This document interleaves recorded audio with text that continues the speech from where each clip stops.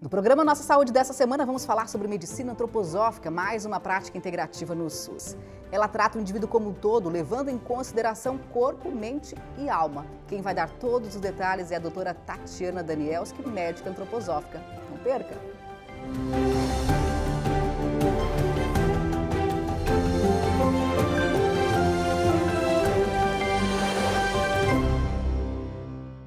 Vamos entrevistar a doutora Tatiana Danielski, que trabalha em atendimentos de emergência na unidade de pronto atendimento de Florianópolis e atua também em medicina antroposófica, atendendo principalmente em consultório. Doutora Tatiana, muito bem-vinda ao nosso programa. Prazer te receber.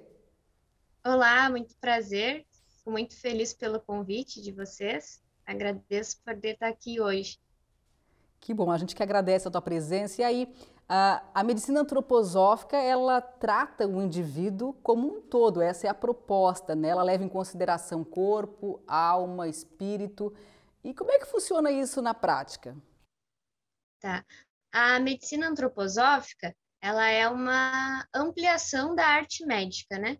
Então, enquanto médico antroposófico, a gente faz todo o atendimento clínico do paciente, como qualquer outro médico generalista ou especialista uh, o que se amplia nessa visão é que a gente não considera só o aspecto físico da doença, né? Só a presença dela, a alteração que ela vai dar no sistema, na fisiologia.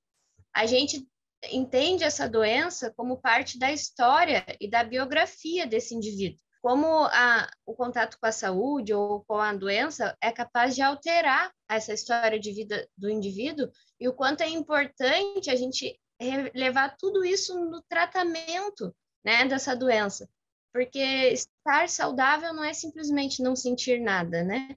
Estar saudável é uma sensação de bem-estar que vai além do teu plano físico.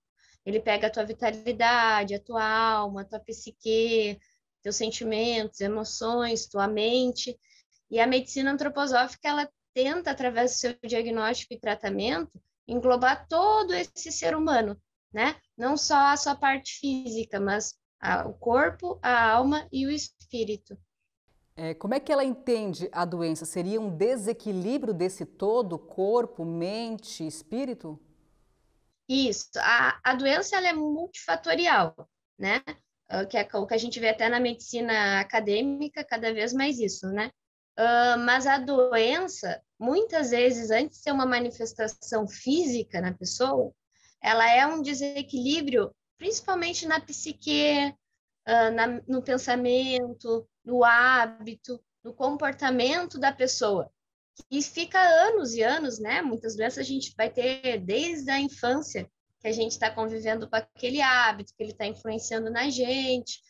E então, quando essa, a gente não observa esse desequilíbrio na nossa mente, não observa esse desequilíbrio no nosso sentir, ele vai agindo né, nesses elementos sutis nossos até que se manifeste fisicamente.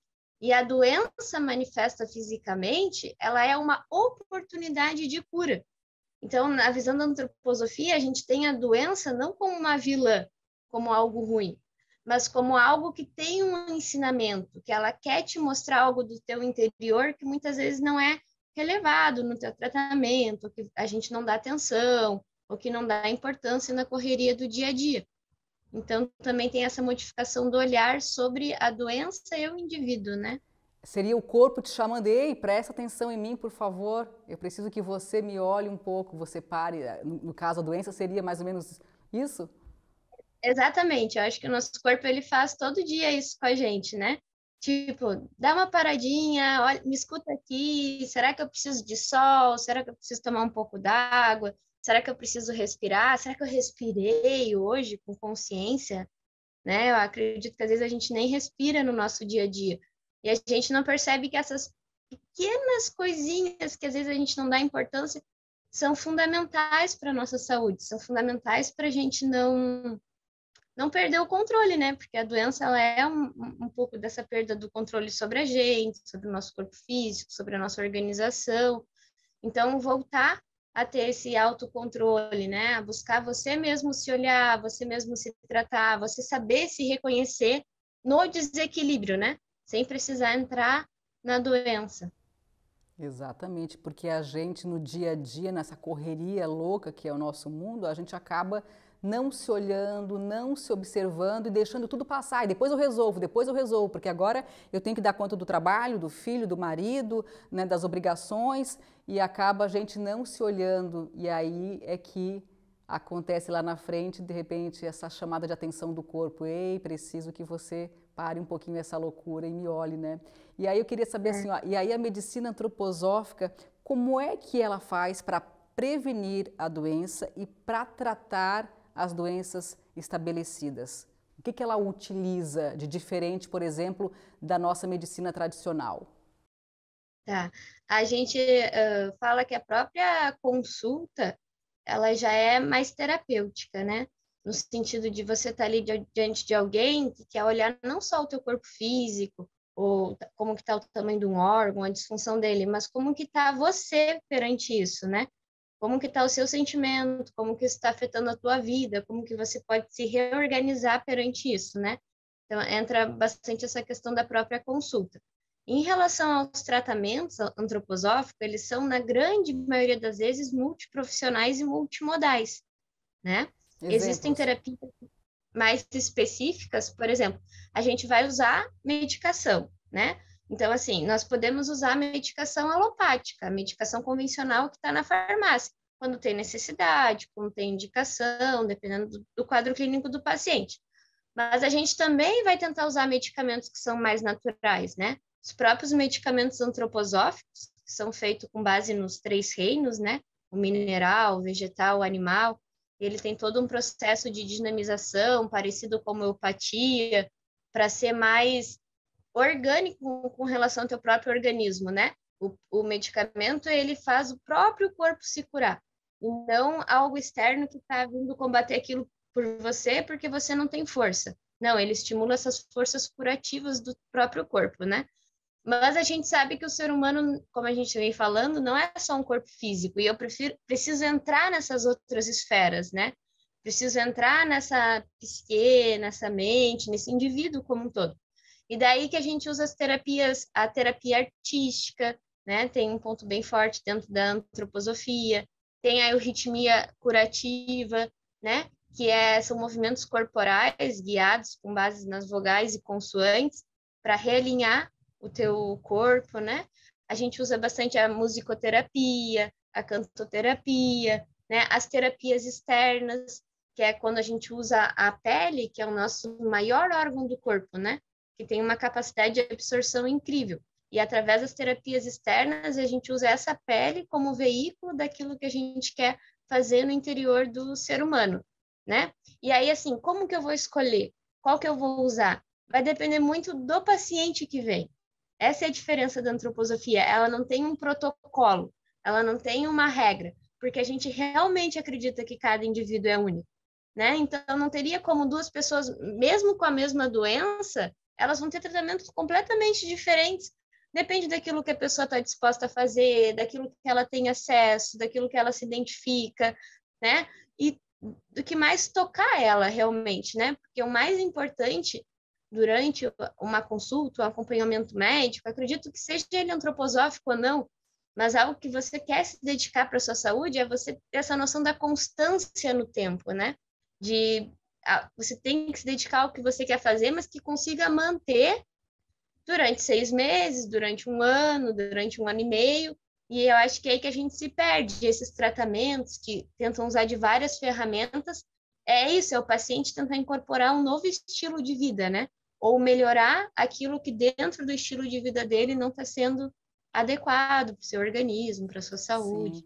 É, exatamente, a consciência é muito importante, né? Porque a gente hoje está acostumado com a medicina alopática, então você toma um remédio e em uma semana, duas semanas você está curado, entre aspas, né? Então acabaram os sintomas e está tudo certo, você segue a vida, né? E aí entender que é, ir mais além, né?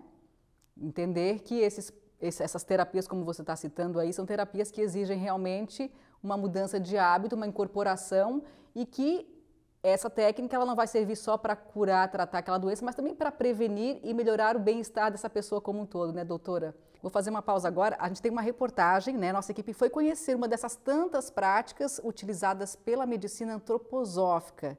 Vamos ver? A Chantala é enfermeira e há mais de 10 anos atua com terapias antroposóficas. As práticas oferecem uma experiência integral ao paciente, com o objetivo de alcançar o bem-estar físico, emocional e espiritual. A Chantal explica que os atendimentos são oferecidos a todo o público. Recebemos aqui crianças, adultos com várias queixas, né? As principais demandas que estão surgindo no consultório são é, transtornos de ansiedade, muito estresse, depressão, esgotamento, distúrbios metabólicos, distúrbios de sono. E agora com essa realidade pandêmica, né, já estão nos procurando situações pós-traumáticas, distúrbios de memória, uma fadiga crônica. É, nós oferecemos também um tratamento que é coadjuvante ao tratamento oncológico, né? E auxilia nos efeitos colaterais e com o intuito de vivificar, fortalecer este indivíduo para que ele consiga lidar melhor com o tratamento alopático, né, que também é feito ao mesmo tempo. Uma das terapias, por exemplo, é o deslizamento rítmico. A técnica usa óleos orgânicos e biodinâmicos na superfície da pele. Os toques são suaves e possuem ritmo. Todo movimento que a gente faz tem uma pausa, tem um momento ativo, um momento passivo, um momento onde eu imprimo uma qualidade de um toque e outro movimento onde respira e eu sinto essa, esse tecido vir até de encontro com a minha mão.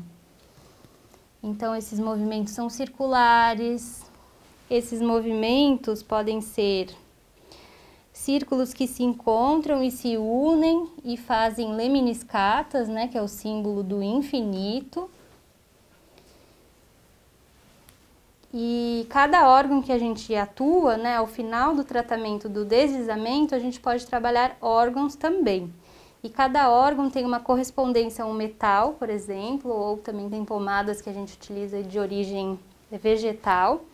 E cada órgão que a gente trabalha também tem uma forma e uma imagem arquetípica que a gente imprime, né? O baço recebe uma leminiscata, o fígado são movimentos circulares, isso numa qualidade de deslizamento, uma qualidade superficial, na superfície da pele. Ao final da técnica, o paciente descansa por alguns minutos.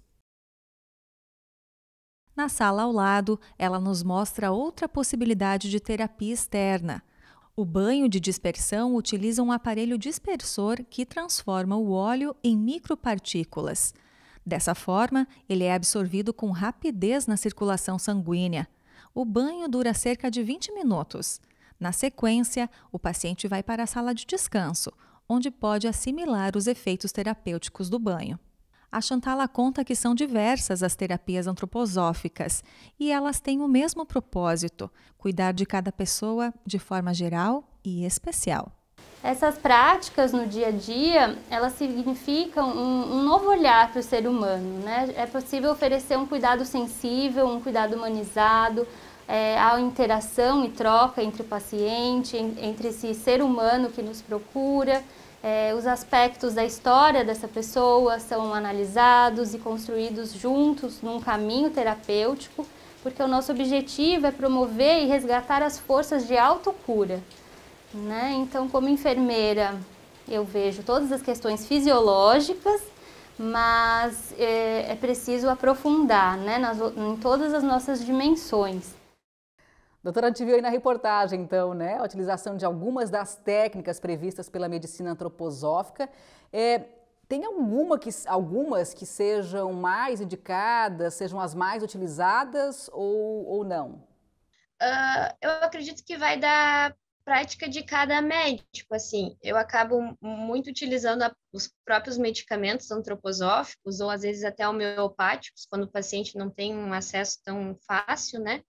E uso bastante dessas terapias externas, porque daí a, minha ideia central é sempre trazer o paciente para o seu processo de cura, né? Hoje em dia as pessoas querem muito comprar os processos prontos, mas não entendem que na verdade o seu processo de saúde ele é seu, né? Ele não é do médico, ele não é do terapeuta. Então trazer aquilo que exija do paciente a presença ali, né? No dia a dia dele estar tá fazendo. Então, as terapias externas, se dedicar e fazer, fazer um enfaixamento, né? Utilizar do calor, que traz esse acolhimento, essa sensação de ser querido novamente pelo seu corpo. Eu acho terapias fantásticas assim e acabo sempre prescrevendo bastante durante os atendimentos. Você falou em medicamentos antroposóficos, e aí qual é a diferença deles para uma homeopatia, por exemplo? Eles têm o mesmo uh, princípio de dinamização, né? Então, uh, o composto, o componente, ele passa por esse processo uh, dentro da farmacologia de ser dinamizado. Isso eles têm bastante similar, mas acontece que a maneira como é feita essa dinamização é muito diferente a, a medicina antroposófica ela uh, valoriza muito a questão da presença humana, né? A presença do eu humano, tanto na questão de se sair desse automatismo, né? Da gente estar tá sempre no passado e, e no futuro, nunca no tempo presente e nunca estar tá realmente presente naquilo que a gente faz. Então, até na elaboração dos medicamentos antroposóficos se conta com a presença humana. Então, eles são todos plantados, né? As plantas que vão ser usadas de acordo com a agricultura biodinâmica, que respeita a regência de todos os astros, a influência da lua. Então, eles têm todo um plantio orgânico, eles são colhidos, uh, dependendo do tipo de medicamento, também apenas por humanos. Né? No processo de, de dinamização que vai ser feito nas farmácias, também se prioriza por ser feito pelo ser humano, por alguém que esteja ali presente, dinamizando e passando energia para aquele medicamento. Então, acho que essa valorização do eu humano é o que está mais presente nos medicamentos antroposóficos e é isso que a gente vê no tratamento, assim, né? A pessoa chegar e pelo menos dizer, não, o corpo isso é meu, eu estou aqui, esse é meu templo, essa é minha casa, como que eu vou fazer com isso agora? E aí disso ela consegue, aos pouquinhos, ir se tornando agente ativo de novo, né? Que maravilha. Doutora Tatiana, a gente vai fazer agora uma pausa nós vamos para o intervalo. Na sequência, a gente volta com mais informações. Você vai saber qual é a origem da medicina antroposófica, que tipos de doenças ela pode tratar, quais são os benefícios. Não sai daí, a gente volta já.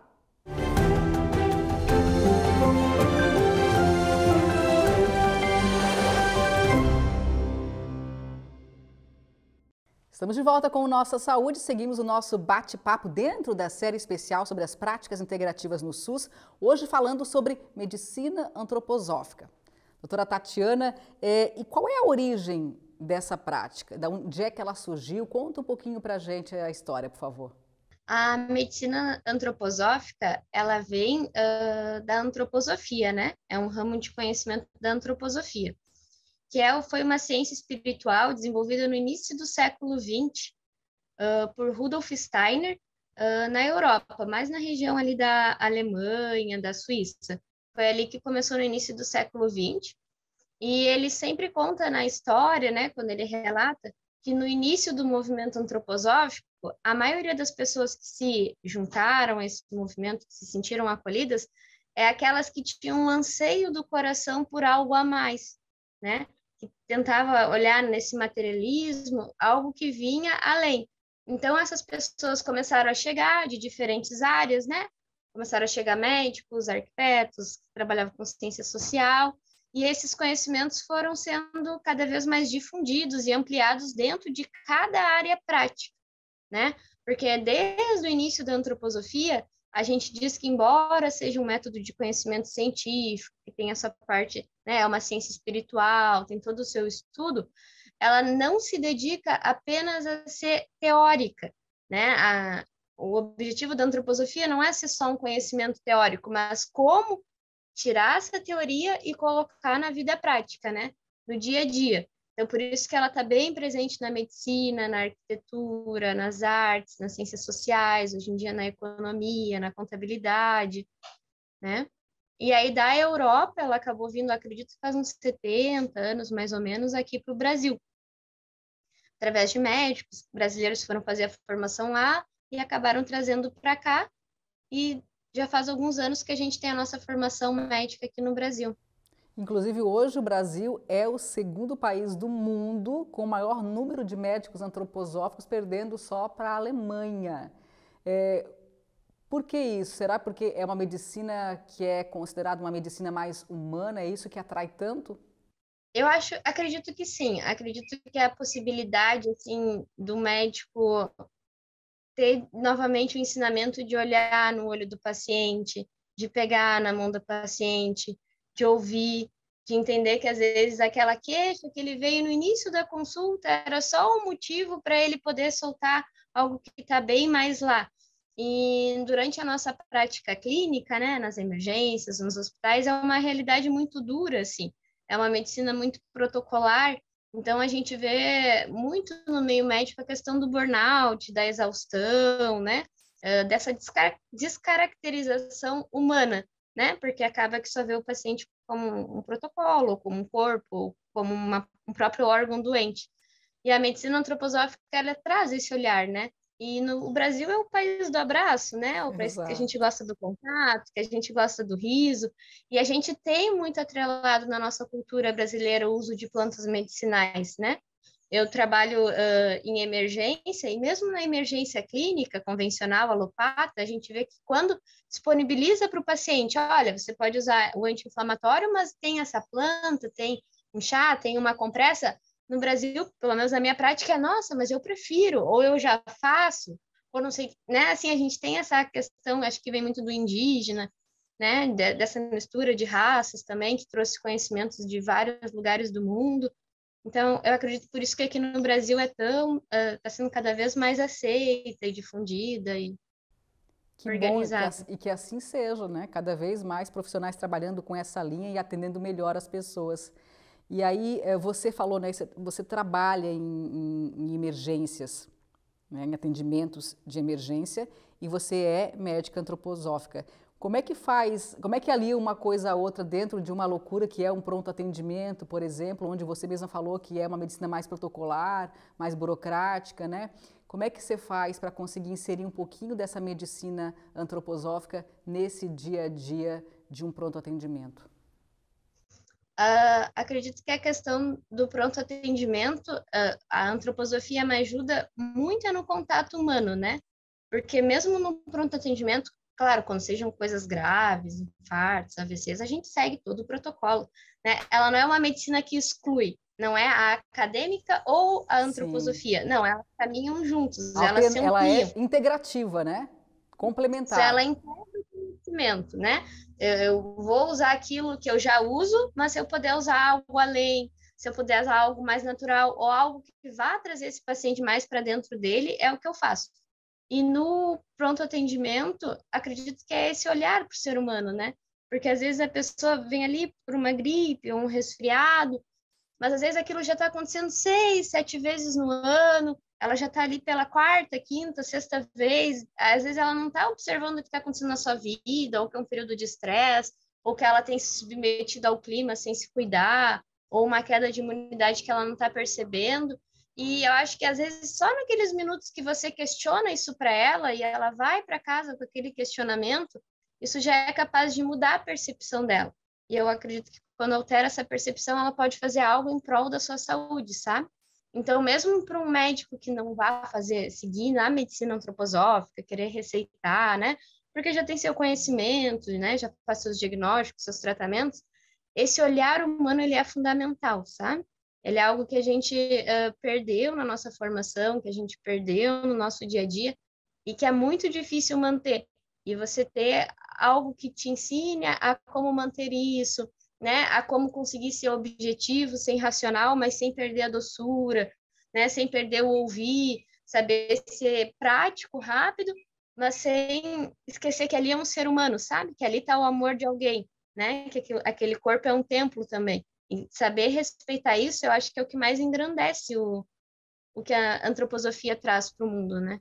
Sim, esse olhar humano, ele é, é o que faz a grande diferença e às vezes até é, é, uma porcentagem bem grande de um processo de cura. Né? Às vezes você falou, né, a pessoa está ali, ela precisa só de um olhar mais atento, de um carinho, de um ouvido, né, para fazer com que realmente ela se sinta acolhida. E esse acolhimento já é uma, uma, uma grande coisa, né, um grande remédio, digamos. A, a medicina antroposófica, ela pode tratar todas as doenças? Assim, uh, não tem nenhuma contraindicação ou restrição de nenhuma doença que não seja tratável, né? Uh, então, a gente trabalha tanto com pacientes que se sentem mesmo no seu, no seu mental, no seu sentimento, na sua vida, tal com algum trauma, alguma estagnação, ou quer prevenir uma doença, a gente atua aí. Mas, hoje em dia, um dos ramos que mais cresce dentro da antroposofia é a oncologia antroposófica, né? Além de todas as, as terapias externas que se usa, de acolhimento, de trabalhar os sintomas psíquicos do paciente oncológico, a gente tem uma medicação que chama Viscum álbum, que é um medicamento injetável e que ele é um dos medicamentos com mais estudo científico nos últimos anos, visto não só o efeito no bem-estar do paciente, mas diminuição de tumor, diminuição de recidiva, diminuição de índice cirúrgico, sabe? Então, assim, ela se dedica tanto às doenças graves, paciente terminal, um paciente que está ali para dar qualidade de vida, para acolher, quanto a criança, né, que o pai precisa de uma orientação lá no início da vida, de como olhar para aquele ser que está chegando, né, de como tentar educar de uma maneira mais diferente, uma maneira mais natural, mais humana mesmo, né? Porque hoje em dia o ser humano é quase uma máquina às vezes, né? Uh, pelos dos aplicativos e tal, e a mente sempre automática. Então, acho que a gente sempre tem que tentar ir trazendo de novo esse ser humano, né? Esse calor, esse. Sim. E uh, você poderia dividir com a gente, de repente, algum resultado de algum paciente que você tenha tido, que tenha te surpreendido, só para a gente é, mostrar para os nossos telespectadores como é que exatamente a medicina uh, antroposófica funciona na prática que resultados que ela traz para as pessoas, só para a gente ilustrar isso? Claro, uh, eu vou contar, eu lembro da minha primeira paciente que eu acompanhei, assim, né? Porque quando a gente começa a formação, eu vim de uma formação muito acadêmica, muito normal, assim. E aí você vê aquilo, as gotinhas, né? Que o pessoal chama as gotinhas, porque é homeopático.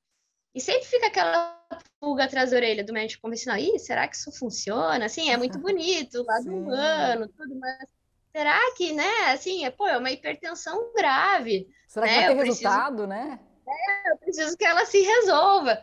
E aí eu lembro que os professores diziam, calma, vamos lá, vamos prescrever, vamos acompanhar. E é uma paciente que chegou depois de um quadro de infarto e ela tomava cinco medicamentos, né? Cinco classes de medicamentos diferentes para controlar a pressão arterial, fora toda a parte psicológica da mente, que estava bem complicada, assim. E ela acompanhava com a gente e acompanhava com o cardiologista, né? E a gente combinou com ela assim, que a gente não tiraria as medicações que o cardiologista estava acompanhando, mas que a gente iria entrar com novas medicações para ela, né? E que aos pouquinhos, conforme ela fosse normalizando, a gente acreditava que iam diminuindo. A gente acompanhou ela seis meses, acredito que nesse período foram três encontros, assim. Quando ela, que eu dei alta para ela, no caso, porque eu saí do ambulatório de idade, porque isso não era na formação, ela usava um medicamento antipertensivo, um comprimido apenas. Os outros quatro foram todos sendo retirados pelo próprio cardiologista. E eu lembro do relato dele, assim, para ela, que era tipo: Eu não sei o que você está fazendo, eu não sei o que essa médica te prescreve, porque eu não entendo a sua Pode continuar fazendo isso e voltar tá aqui, ótimo. porque tá, tá dando certo, assim, sabe? E eu lembro que esse caso eu fiquei. Como foi o primeiro que eu vi um resultado tão palpável, assim, né? E de envolver outras coisas, eu fiquei bem impressionada, e daí que eu comecei a criar confiança e a usar, né? Mas a gente vê bastante resultado também paciente que sente muita dor, sabe? Artrite, a pessoa que acorda com dor no ombro, dor no joelho, dor, no... sabe? Que daí já usou de tudo, já não sabe se é uma fibromialgia, se é uma dor lombar, se é uma osteoporose, aquelas que ficam naquele limbo assim, né? E aí você começa a usar as medicações, começa a equilibrar e a pessoa volta, e assim, é questão de um mês. Olha, esse mês eu já não tomei anti-inflamatório, esse mês eu já esqueci do meu relaxante muscular, sabe? Que a, a própria pessoa começa a se a, a aprender o que a medicação faz, né? Qual é a alternativa para isso, e ela mesma começa a não ver a necessidade do que fazia antes, sabe? Que incrível, então, esses resultados, né, doutora Tatiana? É, infelizmente, o nosso tempo está terminando e aí eu queria que você deixasse algum recado, aí uma mensagem para os nossos telespectadores com relação a essa prática que cada vez vem sendo mais difundida no Brasil e no mundo inteiro. uh, eu acho que a antroposofia vem como um convite, sabe?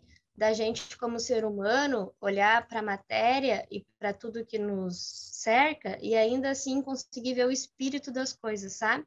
Conseguir ver aquilo que nos une, aquilo que nos faz, mesmo tão diferentes, únicos e, e irmãos, iguais, e resgatar essa sutilidade que está na nossa volta, né? Não é porque eu não vejo o mundo sutil com esses olhos físicos que ele não está aí, que eu não sinto.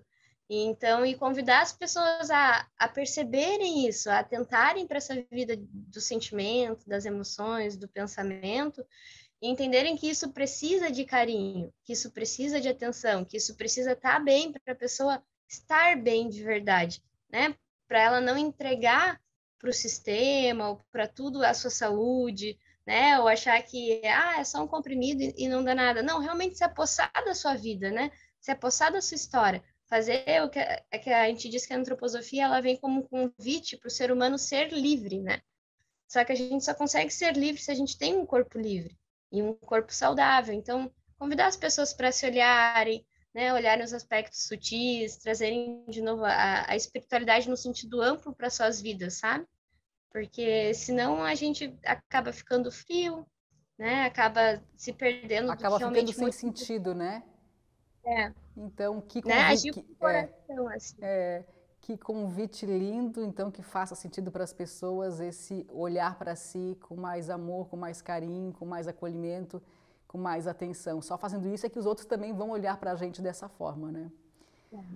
Doutora, agradeço imensamente né, a, a, sua presença aqui no nosso programa e obrigada por dividir tantos conhecimentos importantes comigo e com o nosso público. Eu agradeço o convite, muito obrigada a vocês. Vamos então encerrando nossa saúde de hoje. A você, muito obrigada e até uma próxima.